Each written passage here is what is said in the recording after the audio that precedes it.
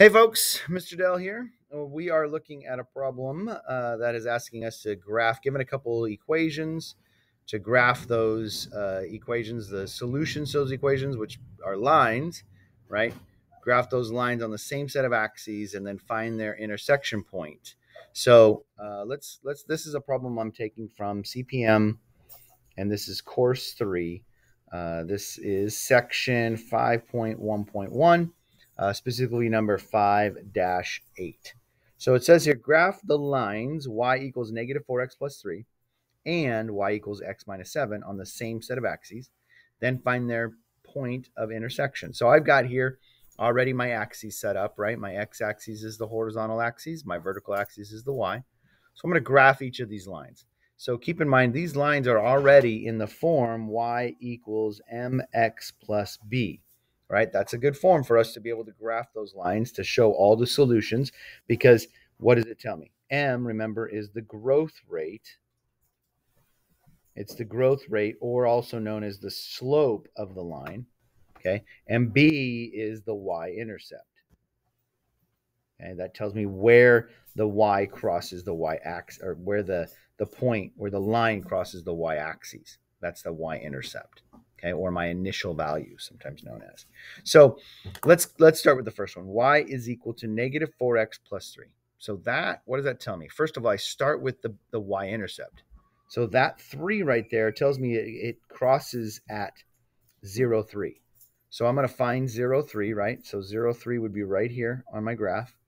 So that's 0, 3. So that's my initial point. And now I use the slope or my growth to find my next point. Negative 4. That means every time I go over one, I go down four, right? If I have a negative four as my slope, every time I go over one, I go down four. So over one, down four.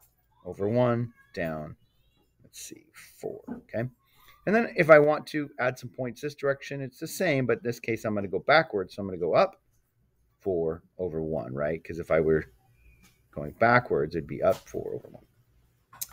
Uh, the other direction. So let's go ahead and, and draw my line. Rem- remember, we draw the line because we're showing all the possible solutions to this equation.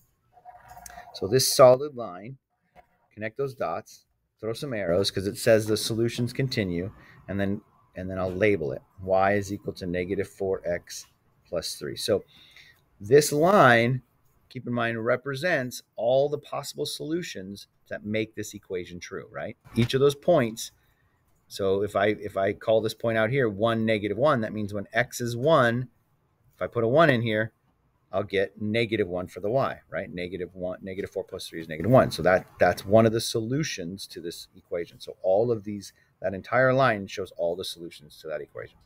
So that's that line. So let's graph the other one, and I'll graph the other one in another color, so we can see the two lines. So this equation, right? Once again, I'm going to start with the y-intercept, and that we got to pay attention. Oops. We got to pay attention to this equation because that's minus 7. That means the y-intercept is at 0, negative 7. So the y-intercept, the initial point, because the minus in front, means it's a negative 7. So I'll go down to negative 7. 1, 2, 3, 4, 5, 6, 7. And that's right there. So that's the negative 7 is the y-intercept. 0, negative 7. Okay. The y-intercept for this one was at 3. I should have marked it. So here we have now my my growth. Well, remember that if there's no number in front of the x, there's always a coefficient of 1.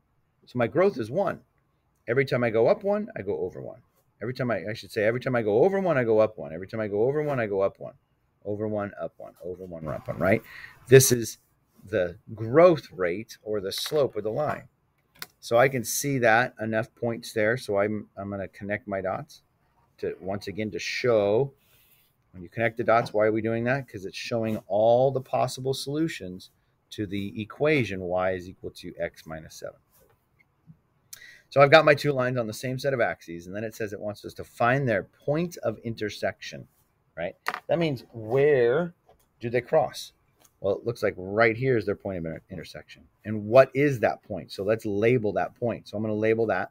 So the point of intersection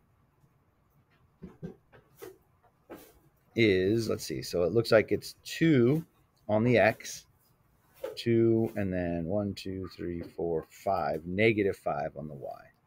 So that point of intersection is at 2, and then this would be negative 5 here. So at 2, negative 5 is the point of intersection. So there's that answer to that part of the question. All right, there you go.